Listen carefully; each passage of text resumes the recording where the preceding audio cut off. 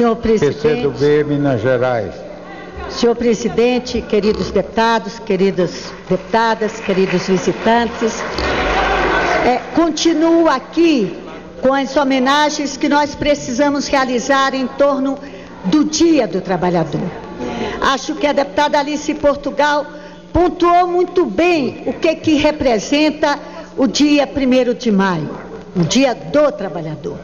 E no nosso país, nós temos que verificar o que é que um país que quer ser a quinta economia do mundo, que um país que quer se apresentar como um país moderno, desenvolvido, o que, que está construindo para os seus trabalhadores responsáveis pela riqueza desse país. Nós, sem dúvida nenhuma, podemos dizer que vivemos um momento especial. Nós temos que comemorar o índice rebaixado do desemprego, uma conquista, uma vitória da atividade econômica e da política do presidente Lula e da presidente Dilma. Nós temos que registrar também a importância da valorização do salário mínimo, que hoje quase que corresponde a duas cestas básicas.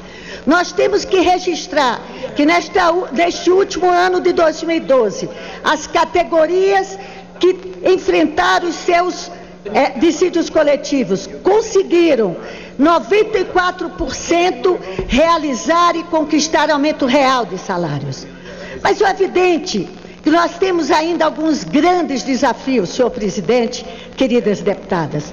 Esta casa precisa se debruçar naquela pauta que agrega a incorporação dos trabalhadores no desenvolvimento.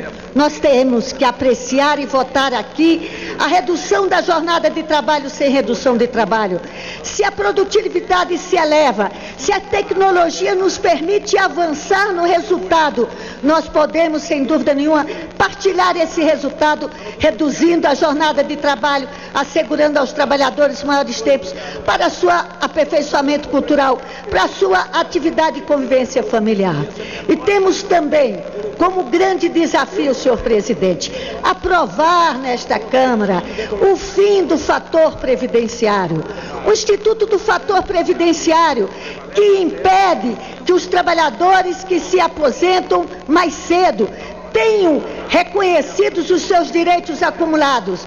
Tem nesta casa um projeto que pode garantir, com a sua fórmula de 85-95, que trabalhadores que começam a trabalhar aos 18 anos possam aposentar aos 57, que é a garantia de condições de ter um futuro mais tranquilo.